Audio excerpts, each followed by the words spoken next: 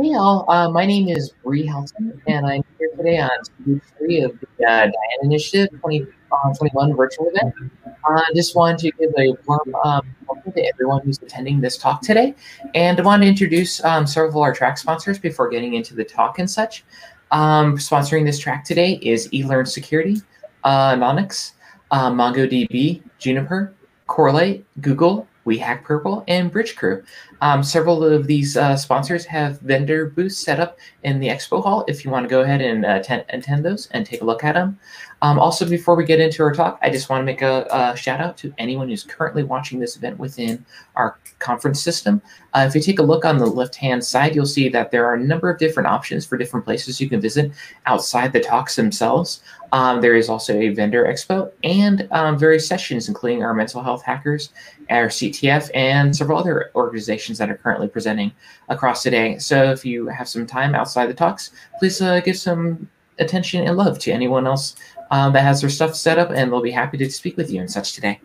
Um, and without further ado, I wanted to hand it off over here to Terra Cooke um, for them to do their introduction and give their talk. Thank you very much. Thank you, Bree.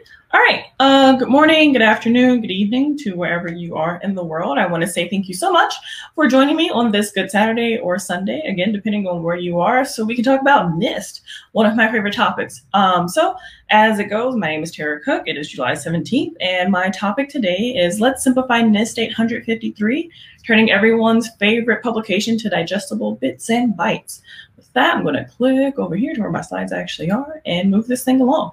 So, who am I? Um, again, my name is Terra Cooke. I like to uh, call myself a security magical girl or Olivia Pope without all the mess because cleaning things up is something that I do. But I also just like saying that I'm a magical girl because anime. Um, I am a former, still slash kind of sort of still a governance, risk, and compliance and audit nerd. Um, that is where a good chunk of my heart honestly sits. I know a lot of people don't like auditors, but we're great, I promise. I also used to work in the intelligence community. That is a fun time and a very quick thing that we always just like right on over. Um, I am very unapologetically Black, and I am huge on pushing for intersectionality and equity in the security and tech world. And as I do call out that I am very Black, and I think it goes without saying as far as what it means to me in my life to always call out in these forums that Black Lives Matter, and that includes the lives of Black women, Black trans women, Black LGBTQ women, femme adjacent folks, women adjacent folks. Um, and if we have a lot of work to do as far as dismantling white supremacy and these things in the world before we can really make progress. It means a lot to me if you do your part in making sure that we do that. With that being said, I'm going to keep going. So why are we here? Um, we're here to talk about NIST. Like I said earlier, um, my whole goal is to ultimately take this framework that is very huge and kind of clunky. And this is not me uh, knocking NIST. I love them to death.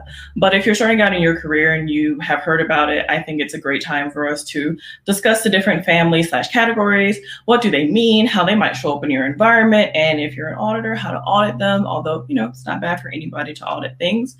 Answer any questions. And, you know, while the pandemic is still pandemicking, enjoy everybody's virtual company.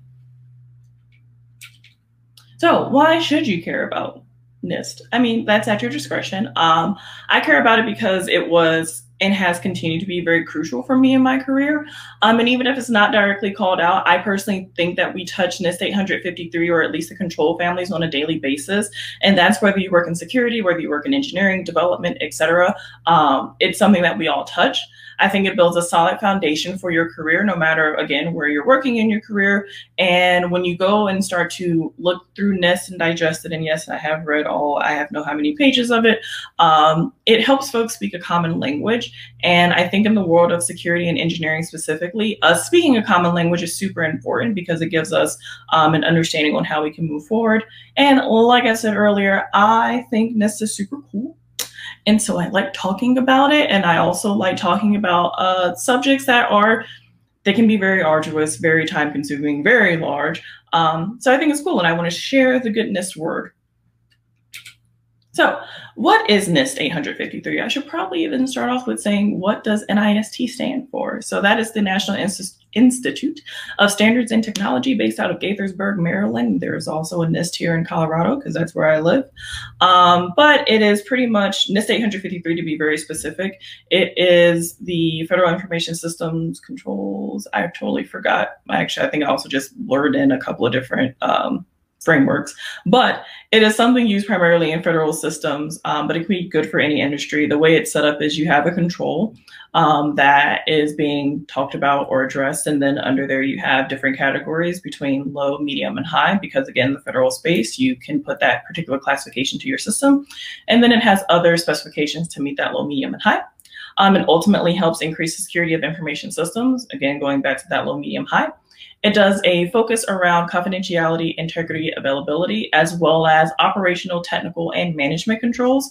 So covering the CIA platform, as well as giving you um, a brevity of different ways to implement controls because while just doing things at the technical level is super sweet, um, it doesn't always address everything that you need. But more importantly, and as I've said multiple times, um, it's a lot to process and a lot to intake. And if you are someone new to security and you're told, hey, like, boop, here goes NIST 853, go have fun, um, which is what happened to me, you can just be like, all right, I don't even know what to do with this or where to start. So for me, I try and think about my past self. And I think this would have been really cool to view as a baby security engineer. Um, so NIST has something called control families. And if memory serves correct, at the Rev 5, so uh, revision 5, which I think was super recently. It's 20 or 25 families. Um, I probably should have counted again before I did this presentation, but I didn't. Anyway, those all are access control, awareness and training, auditing and accountability, assessment, authorization and monitoring, configuration management, continuity planning, identification and authentication, incident response, maintenance, media protection, physical and environmental protection, Planning, program management, personnel security, personally identifiable information processing and transparency, which is a whole mouthful, um, risk assessment, system and services acquisition, system and communications protection, system and information integrity, and last but not least, supply chain risk management. So like I said, lots of different control families. Some of them, when you read the name, you're like, oh, okay, this is pretty straightforward with what it should mean. Um, some of them, not so much. And even still, it's always nice to have a definition to tackle onto something just so you're generally like, okay, cool, this is what I'm aiming towards. But as you will see as I go through this, actually, not everything has a definition. And that's okay, because I put in my slides the NIST definition, my definition, and then again, some ways you might see it pop up. So let's get this thing going. Access control. So the NIST definition is procedures and controls that limit or detect access to critical information resources. Um, I will stop there because then it gives some different examples on what that could look like. The way I try and look at access control is understanding who has access to something and is that, well, understanding who has access to something, is that access valid and why? Um, it's very important to understand is that access valid and why uh, the reason why I say that is, you know, it's great if someone can, for instance, you know, access your house or access the back of your yard. But should they be accessing, accessing it is one thing, and why are they doing it is another. Um, as you go through and start looking at different systems, as we look at the ways that it can appear with account management, so you're enabling and disabling your accounts, your least privilege, which is only giving someone access to what they need to do their job, and then restricted access. So an example is like HR only being able to see HR files that ties back into me as a security engineer. I should not have access to um, anybody's HR files just by the nature of my job. It's not necessary. If I happen to have access, though, why is it valid? So, how deeply can I see someone's files and why is it important? Um, do I have access as a security person because I something? Um, it was an ungracious person leaving, not an ungracious person leaving. It was an unceremonious someone got fired. There boom. We can say it like that. Someone got fired. So do i have access to make sure that you know everything is closed out in a certain way? Or you know somebody in finance having access to certain files so on and so forth. Um, it is very important to reiterate on that um, access being valid or why or thinking about even just like wi-fi. Um, someone could totally have access to your Wi or your access point, for instance. Um, but did you change the password to the one that was on the box so they now don't have valid access? And why they have it is because the password they knew it and it was easy. Um, awareness and training. Oh my gosh, I totally did not change this in my slide, and I'm very ashamed of myself. Anyway, um, the NIST definition, I don't remember. I don't think NIST actually had one. Um, my definitions of awareness and training is making sure you train up your people on, you know, what they're supposed to be doing for their job. What that can look like is your security awareness training, which everyone loves. I know we do. Um, or very job specific training. So, for instance, at my current company um, that I work at, we have some secure code training for our developers available. Um, and that just helps them, you know, beef up their skills around developing secure code. So, that's some job training. Or um, I'm trying to think of some other ways that it can appear, but I think people understand the gist of awareness and training please say that I changed it. Okay, great. Um, I was very afraid that I somehow did not update all my slides or forgot to. Um, but auditing and account, or excuse me, audit and accountability. Um, NIST doesn't have a definition for that, but what that looks like is who did what, when did they do it, and does it make sense? So it ties back into that whole aspect of access control a little bit. If you can't tell how these things all play off of each other, um, ways that that can appear is event logging. So when you see someone signs in and that's being sent off somewhere, log retention, making sure things are being retained based off of different obligations you might have, depending on what industry that you work in. And then non repudiation is a person like without a shadow of a doubt, that person is who they say they are and can prove it. Um, so again, going back to who did what, when, and does it make sense? The way I try and think about that is, you know, maintenance. And you actually see this coming into a different site as well.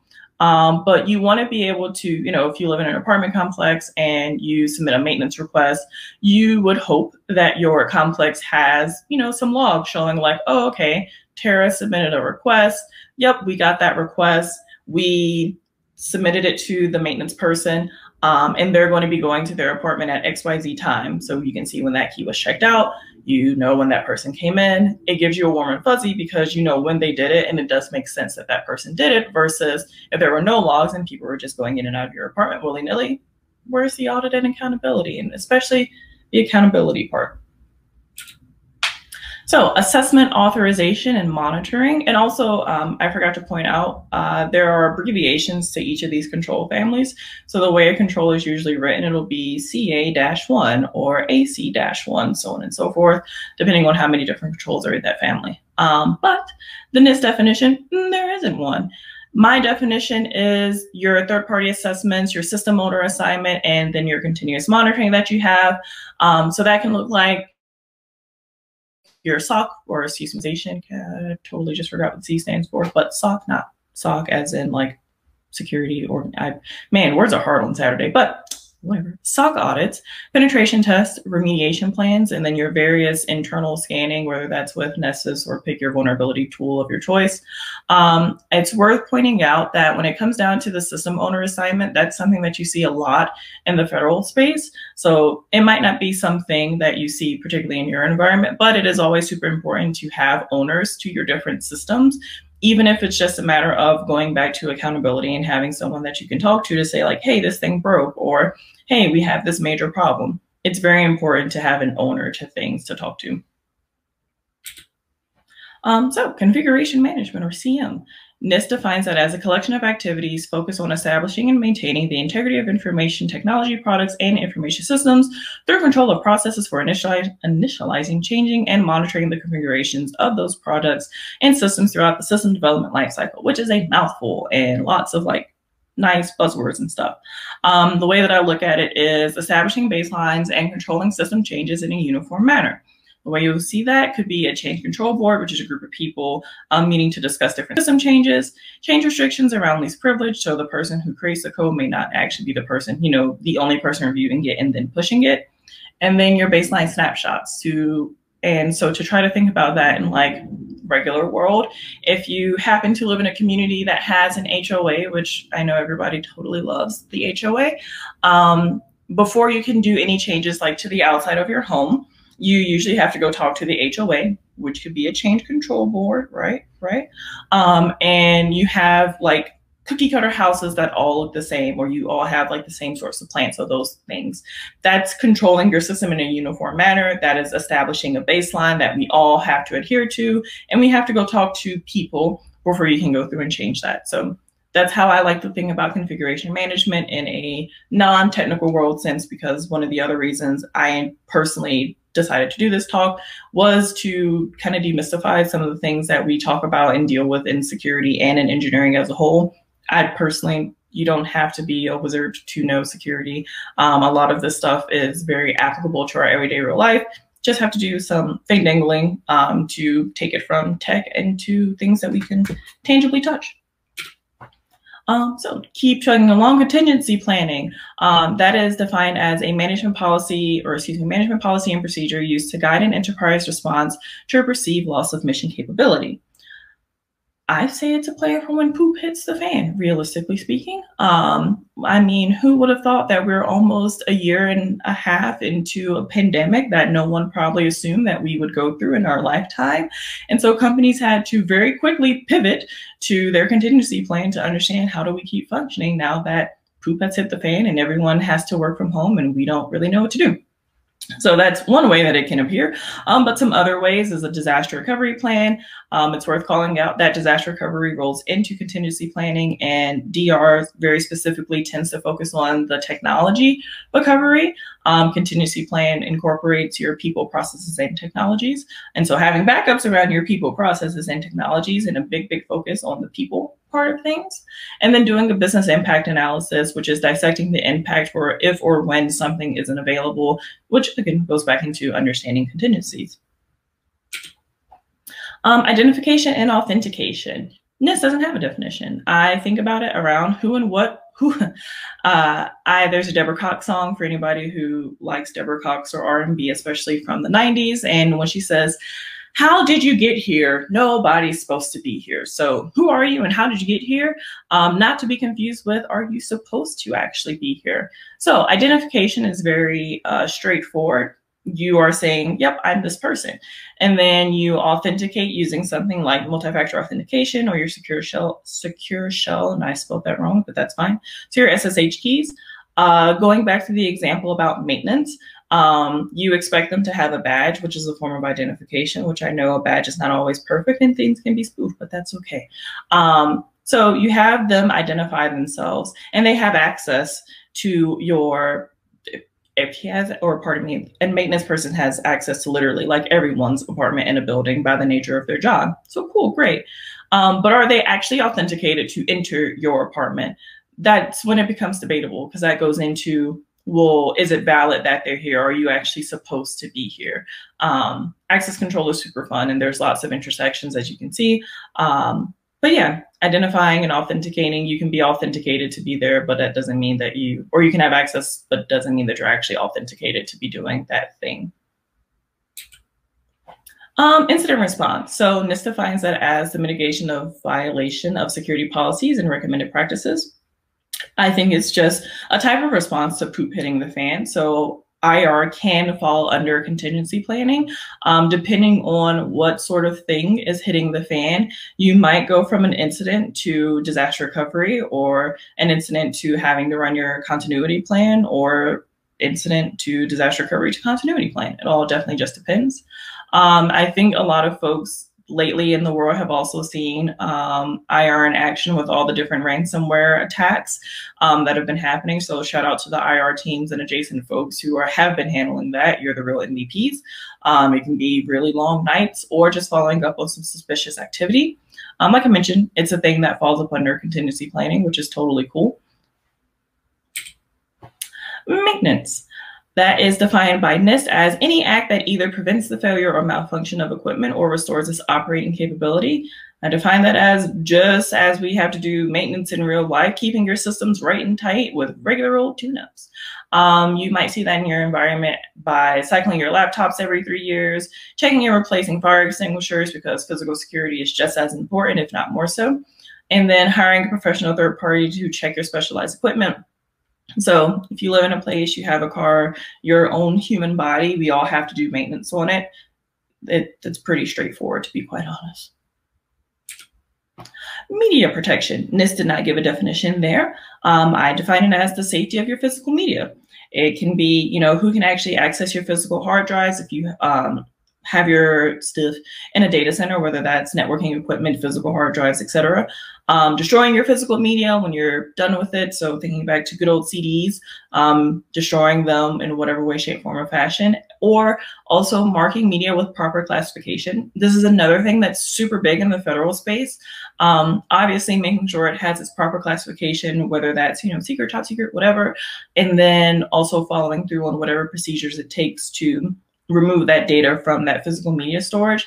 But even in the non-federal space, if you are putting like PHI, for instance, on any sort of physical media, you do want to make sure that one, it is classified as such, and two, you are destroying that physical media or getting rid of it, whether it's whatever way that works in your environment, you are following that process. Um, physical and environmental protection, something that is huge and massive and often not looked over, or excuse me, it's often not talked about enough and very much looked over. Um, NIST does not have a definition for that, but I view it as protecting your physical space and ensuring your safety. Um, when we talk about physical security, obviously the first thing that comes to mind and is the most important is the physical security of your people. And so that's something to always bear in mind when you're talking about your physical security controls. Um, ways that might be able to appear in your environment is having visitor logs, whether that's them just signing a paper, using a system where they, you know, get their picture taken and then you have a record that way. Um, your cameras, your fences, your locks, and then also getting that regular maintenance on, understanding your power, your um, heating and cooling, fire protection, so your fire extinguishers. Uh, obviously, physical security is important in every aspect of life, not just something that you should look at when you're in your office environment. And especially with the whole work from home life thing, it also has caused people to take a way deeper look into physical security um, at the individual level as well as the company level, especially depending on what your industry is. Planning, my favorite thing, or one of my favorite things. So this does not give us a definition of that, but that's cool. Um, I think it's laying down your foundations, document and account for all of the things. And there's a little caveat there. Obviously, you can't document for all the things. I think if we could, um, some of us would, depending on how your brain works around planning. Um, so documenting for as many things that make sense and as possible. You're going to miss things. That's totally okay. Um, as well as thinking about like planning in your company of what you're doing for the next quarter, the next half, the next year, etc.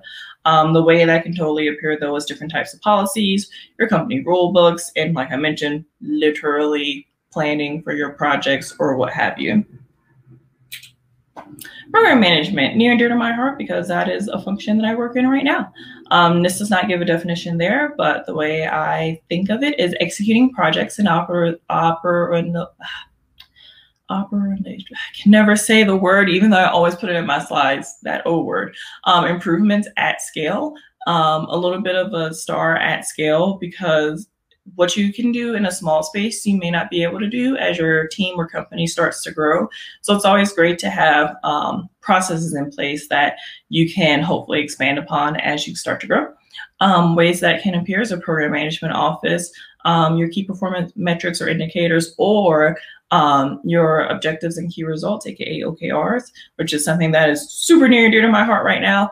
Um, and then your enterprise-wide and cross-functional initiatives. So your security awareness training, your continuity planning, because that is something that needs to be done in every part of your company that ultimately supports your enterprise.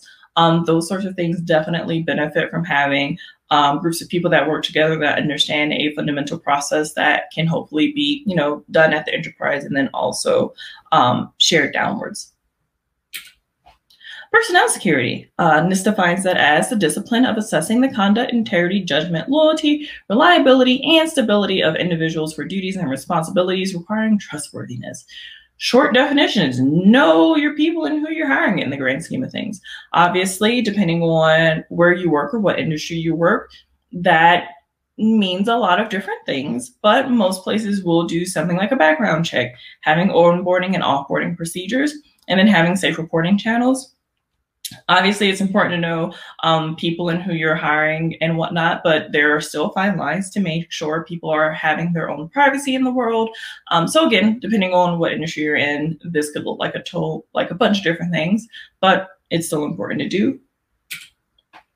Um, personally identifiable information, also known as PII, processing and transparency, or PT, this does not have a definition. Um, my definition is protecting sensitive information from those who shouldn't have it. I know um, part of this battle, which is really hard, is just defining what is sensitive information or defining what is personally identifiable information. Um, something like a name could totally be PII. Um, but then when you start to aggregate certain information on people, so you have first name, last name, email address, IP address, phone number, so on and so forth, um, it starts to become a way bigger deal. So that is helped by defining um, a data classification policy and procedures, um, having your internal and external privacy notices for those who may use your product or in general, and then having end user consent records and logic logging, um, thinking about the great GDPR of 2017, 2018, put a huge focus on personally identifiable information for people obviously who live in the EU, but I think it calls a lot of companies to actually take a step back and start looking at the privacy of their consumers and going through the process of understanding what is PII and what protections are we going to put around it, as well as the processing of that information, who's able to access it internally, externally, um, and what they're ultimately doing with it. So yay for better privacy controls. I'm a huge, huge component of that.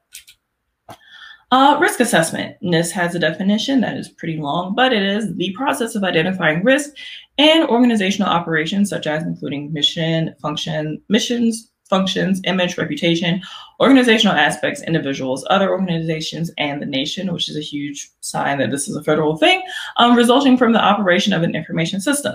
The way I look at it, and this is a lot shorter to me, is do we want to do a thing? And if so, what's the impact of that thing? Uh, thinking about that, obviously, in your company, do you want to push out a certain change? Do you want to do a certain feature? If we do this, what's going to be the impact of it? Um, is it going to have an impact to us as a company? Is it going to have an impact to our consumers? Are we potentially opening up a security risk here? If someone, you know, actually, or let me rephrase, from a security standpoint, are we opening up or increasing the threshold of which a threat might take place or um, a vulnerability could be acted upon, and then we have a problem. Um, but you can totally put risk in a risk register, which is something where all risks are documented and reviews, reviewed, have a business impact analysis or a privacy impact analysis. Um, I think a lot of people get scared when they think about risk and risk assessments, or that you need to be like super specialized to do it. I don't think that's the case in all actuality. Um, we do a lot of risk work in our everyday lives. For instance, if you drive a car or if you take a bus, Lyft, what have you, um, you're doing a risk assessment in your head then. It's do I want to take my car or do I want to take the bus? Well, I have insurance for my car, so if I get in an accident, like the risk of me having to pay a bunch of money, depending on the different ways that your insurance is set up, could be minimized or should be minimized. Well, if I take a bus and something happens, then I just have to get off the bus, hopefully, and like everything's cool. Right, right, right. So, or again, during the pandemic, we all had to do risk assessment literally on a day by day basis of do I go see this person or no? Do I stay in my house? Do I go get groceries? Do I have my groceries delivered to me? Um, not to be super doomy and gloomy about the pandemic, but again, I think risk assessments are something that we should talk about a lot more as people because we do them a lot. It's just a matter of translating the doing the opposite of what I mentioned before and taking the tangible things we can touch and put them in a cyber digital bits and boops sort of space. Um, system services and acquisition. So this does not have a definition of that. The way I look at it is assessing a system or a service or a company before merging environments or acquiring them. So again, merging environments or what have you. Uh, the way that that can appear is a security or privacy assessment pre-acquisition, understanding their system and engineering principles, doing documentation reviews. Um, this is a pretty huge deal in the grand scheme of things, especially if you're going through an acquisition. Um, if you're going to treat that company as kind of like its own little separate thing, that's super cool. Um, but you still want to understand what's going on in their environment, especially if you're going to be responsible for it. If you're going to be acquiring them and actually doing a like a true merge of environments, you do want to understand how that is going to impact things and how much your environment is ultimately going to change. And again, what sort of um, security threshold, not security threshold, um, space are you now opening up by merging the two environments together? I think I'm pretty close to the end. I think I'm also good on time. Um, but system and communications protection. This does not have a definition there. Um, the way I look at it is allowing systems to speak to each other, but from a distance. So virtual social distancing. Um, that can be viewed as boundary protection. So keeping your sensitive resources behind a protected wall of sorts. Um, having trusted paths. So systems that have been vetted by the engineers to say like, yep, they can totally talk to each other and then your public key infrastructure, aka the PKI infrastructure or PKIs, Um, also, something that's super important when you start to think about federal systems, of course, but it's another form of access access control in the grand scheme of things. But it's no longer the focus on the human accessing things, but systems actually being able to access each other, transfer information to one another, etc. Then you have system information, excuse me, system and information integrity. There's no definition from this, but I think it's maintaining system reputation and trustworthiness. That can be done by doing your vulnerability scanning and monitoring, having your remediation plans, and then doing input validation, which is ensuring someone's input won't break the system and accidentally display certain information. Um, it's also thinking about if you're going to a website, for instance, and it has that angry, like, oh, this is HTTP, excuse me, HTTP is no HTTPS. Are you sure you want to go to this website? It doesn't seem safe. That is a sort of system um, in my opinion, system and integrity, system and information integrity, you're letting the person on the other end know, like, hey, some things might not be completely like cool. Um, and so it's up to us to make sure we go through the processes to make sure that that integrity is still in place and intact and it's trustworthy in the grand scheme of things. I think supply risk change management is my last one. Um, so cool. No NIST definition here. No big deal. Um, the way I look at it is trusting where you obtain your products from. Um, you don't want to buy something that you already know could be faulty or could have um, potential backdoors in it. Um, you can get a risk assessment or do a risk assessment. So, thinking a lot about vendor management, for instance, that could technically fall under a sort of supply chain risk management. Um, so doing that due diligence there, um, looking at your terms of services and agreements, reading those, being thorough with that, and in your contracting process as a whole.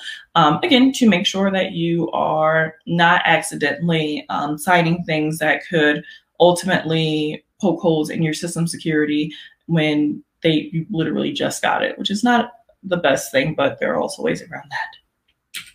So with that, that is literally all I think 20 or 25 different control families at like lightning speed. And I had not been looking at questions, but I am going to pop over and look at questions in a moment.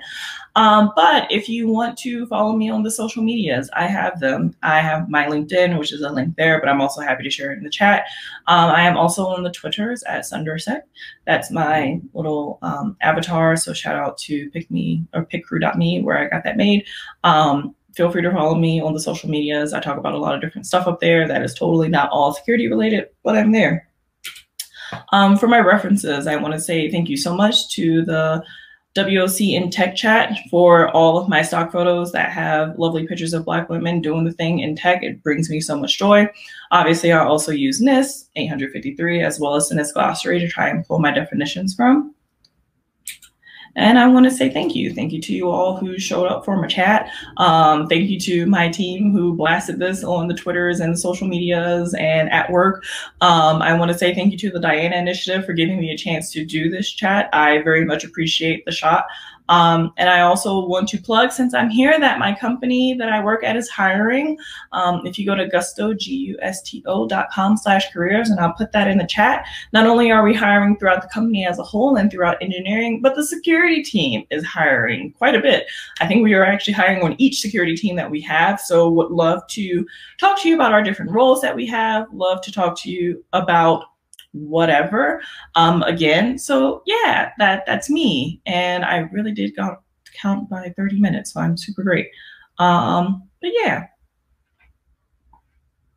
I'm gonna look at things. So Bree, I don't I I'm going to try and scroll through the chat really fast. Hey, uh, I've been paying attention to chat here on the side. Um, so one of the first questions that was asked uh, was if a company doesn't have a GRC team, uh, what's the best way to get about uh, starting that up?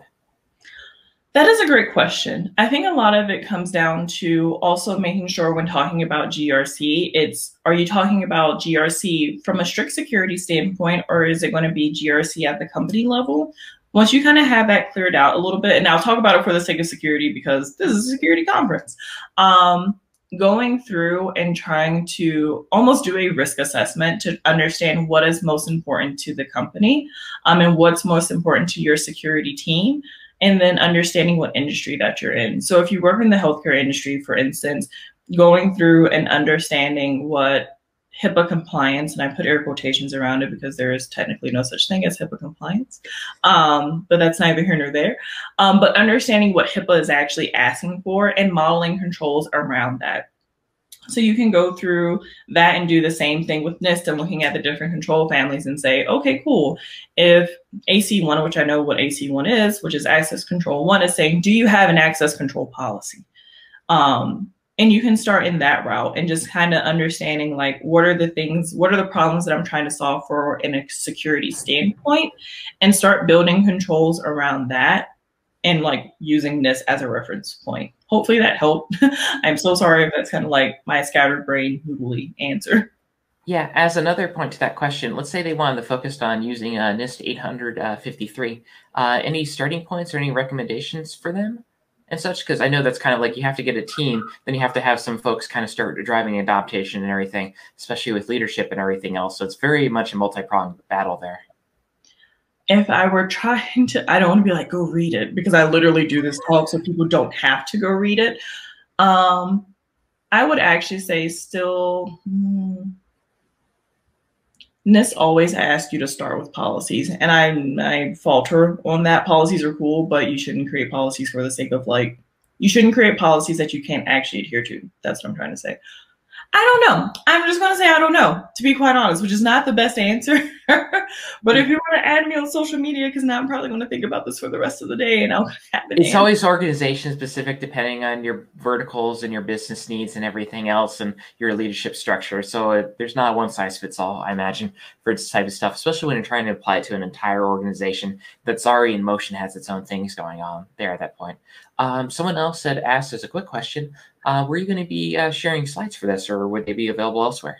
I am going to share my slides. Um, that is something that I've been waiting to do until I finish this one presentation. So literally probably today, I am going to upload them onto my LinkedIn and I will try and find other places to also share them because then I think that could address the, the first question of, hey, if you want to read through the slides and try and assess what makes the most sense for you on where to start, then we could totally, totally do that. Yeah. Um, so we had a handful of other questions here uh, towards the bottom of the chat. Um, NIST 853 recommends monitoring. Does it provide guidance on how to go about monitoring systems? I do believe NIST does go about actually saying like how to monitor systems themselves. Um, it's been a while since I've actually poked through the system and monitoring because I've gotten I've gotten away from using NIST as much as my starting point, and now I have like years of experience um, to go through and be like, oh, this is what you should be monitoring for. NIST does index a lot on saying like, if you have a low system, this is what we would like to see um, if you had like an auditor come in. So the short answer is yes. Or I guess it's almost clarifying on my end to know like, oh, hey, Carla. Oh, geez, Carla. Sorry, this is my coworker who's asking this. Uh, so yes, it does give some guidance on it, and it is beneficial to have. But we could totally talk about this at work. Yeah. yeah, like I'm used to PCI compliance and everything having some very in the weeds definitions about, hey, you should be doing this and that. Not telling exactly how to implement it, but giving some guidelines of what you should be going towards and such. So I honestly wasn't sure on this side. Uh, James asked, uh, when the company is a supply chain for a DoD product and is required to follow NIST but refuses to do so, what's the best path to take? And that's a multi-factor question there. I was like, that's a loaded question. Um, let me clarify by saying I no longer work for the Department of Defense. I cannot speak on DoD's behalf. I cannot speak on anyone's behalf but myself. If I were in this boat and a particular vendor does not want to follow, D, uh, excuse me, NIST guidance, go find another vendor. Um, that's my personal thing. Like I'm always team, like if I have hard requirements or things that I need and they won't follow it, I'll go find someone else. If it's the rare instance, like they are somehow the only vendor who can do this one particular thing, it becomes having a conversation and be like, look, we got to meet each other halfway. Um, which sucks and it causes a lot of heartache and heartburn and talking and feelings but realistically, if you can go find another vendor who's actually willing to follow what you need in your supply chain process, your vendor management process, risk management process, etc., um, go do that. It's also kind of weird and red flaggy when some companies are like, "I'm just not going to do this thing." It's like, where are you hiding? Like, why won't you do this thing? Um, but that's again a very loaded, multifaceted question. I don't work for DoD anymore, and I can't speak on anybody's behalf of my own. Uh, I see a number of other uh, comments in chat, but no explicit questions. I, I do have a handful of questions I had uh, kind of come to mind while I was watching the presentation and such, if you want. Sure.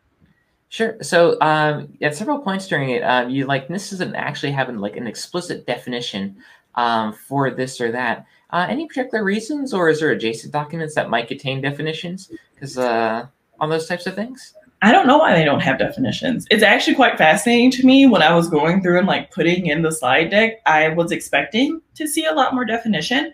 Um, and I think that does point back to like me saying speaking a common language is so important in engineering and security because if you don't have that definition, then everyone's kind of like rummaging in their head to understand, well, what does supply chain risk management mean? Um, I didn't even bother to try and like Google different definitions that are specific to engineering and security. Um, but yeah, I don't know why NIST doesn't have it. And I again, I'm not bashing this. I love NIST. It's still one of my dream goals to work for them one day. They like tweeted me on Twitter once, and it was super exciting. Um, yeah, I did I actually answer your question? Uh, yeah, no. Uh, I was actually going to ask as a follow up to that. Is there any uh, NIST documents or other um, things that you'd include like in your reference section that would be like a good complement to understanding this particular section of NIST. Or any good resources or such or? The NIST cybersecurity framework, so NIST CSF, is something that I could actually totally be a great starting point um, for people who want to focus strictly on security and the focus is not so much like federal stuff. NIST CSF is like great for any company that just wants to have like a pretty solid security framework. Um, there's only like five areas in it, so that's already better like five versus 20 some odd control families. Yeah. Um, I forget what all five of them are, which like makes me so sad because I used to remember like all things NIST, but then life. Um, but it talks about like starting with identification like you have a hard time knowing what to do in any system any place anything if you don't even know like what you have there so i think it goes identify i'm not even going to try and do it right now and embarrass myself um, but i totally recommend um, the NIST cybersecurity framework. There's also the NIST risk management framework, and I forget um, the the number that goes along with it, but it's also pretty solid as far as like how to walk yourself and your company or your team, what have you, through the risk management process um, and try and get an understanding of a foundation instead of, I think to a certain degree, doing risk assessments are okay being overly simplistic. But if you want something that's actually ro- more robust, um, the risk management framework is also pretty solid. And I see Dwayne has also been like putting different things in there. And I'm also going to plug my career stuff because that's what I was. Yeah, please do. Um, yes, 830. Thanks, Dwayne. We're hiring. There's there's a link in the chat where you could totally. Oh, this is so cool! It's so cool seeing that little avatar there. Sorry. Uh, so there was an, uh, two other questions in chat. Uh, and do you think it matters if you follow NIST or CIS? And I think it's more perspective of does it really matter which one you follow as long as you're kind of following one of them and getting towards a bit more secure goal and such? So I will say something partic- possibly spicy considering I'm sitting here talking about NIST. You don't necessarily have to follow any of these. Like ultimately putting in security controls, what matters is what you're doing works for your company. NIST might be over like overly uh, complicated or just like doing the most. CIS might not be addressing what you need. And you can take and pick what you want out of these. I think also between NIST and CIS, they're technically kind of addressing two separate things. Um, if memory serves correct, like CIS, because I haven't looked at it in a while and I'm the worst, like focuses a lot on vulnerability type stuff for me versus NIST, which is kind of a crapshoot of a lot, obviously. Um, oh, there's dogs outside of my house. I'm so sorry I got typed. Um, I don't think it really matters which one you follow. If you don't even use NIST or CIS and you decide to use some different framework, okay, cool. Um, it's great. Whatever works for you as a company. Gotcha. And I think we had one last question here of uh, uh, what's your opinion on moving away from calling things controls and using the term safeguards instead? Ooh, I actually like calling them safeguards. Controls has a has a very stern uh, feeling to it, and I think that can scare people. But at the same time, oh yes, NIST and CIS also do map to each other. I'm actually reading the um uh, the comments. Wow, words are really hard, and I need to do more morning talk um, when I'm in my best like form. But anyway, it would be nice to call them safeguards. Control has a very stern feeling to it. Control makes it sound like you have to do these things. Um, and obviously, depending on if you're working in DoD and you're trying to do certain things and get systems put online, then yet some of the stuff you're definitely going to have to do in order to patch those thresholds. Um, I'd be open for safeguards. I saw uh, someone else. Oh, cat put guardrails. Um, there's options. I think it also kind of just depends on whatever makes you feel the most warm and fuzzy on the inside. I'm so used to calling them controls from my my audit life where it's just second nature to me. And it also isn't as uh doomy and gloomy as it once was because a lot of people will say, what what's the spirit of the control? What what's the spirit of what you're trying to accomplish? Which which makes it sound significantly less stern. Yeah, I mean, also, I've I'm on the DFIR side, and so I've come to appreciate the use of the terms because when something goes wrong and it's like, oh, the controls failed, it's just like, uh, do we have a reactor breach, or is it just like we have a little alarm going off or anything? So safeguard kind of gives a bit more variance in terms of what the actual response can be and everything, instead of just assuming the most worst possible thing is occurring, which we often get in infosec, but not in every case for those types of situations. That is very true. Mm-hmm. Um, I don't have any other questions coming to mind or anything else from chat. Um, was there anything else you wanted to cover or bring up over the last few minutes we had? Uh, no, like I said, thank you all so much to everyone who showed up and decided to hang out on a Saturday where I'm sure there are many other things that you could be doing, but you are here with me virtually and I can't reiterate how much that means to me. Um, I I am eternally grateful and I am very, very thankful to you all. Yeah, if you want to hang out and chat, thank you also for the compliments. I'm glad you all enjoyed it. I I very much am like I am not in my best form today, um, but that's okay because not every day is perfect, and that's fine. You know, I'll say just looking at chat, uh, James' comment of just calling things bubble wrap as a way of protecting it is, uh, you know, fragile, but, you know, still resilient at that point. Uh, kind of like that a bit. Bumper controls. Um, but yeah, I think we're good at this point. Um, so thank you all so much for joining us. And we have another talk coming out in about 10 or so minutes and such. Perfect. Thank you all so much. Have a fantastic day.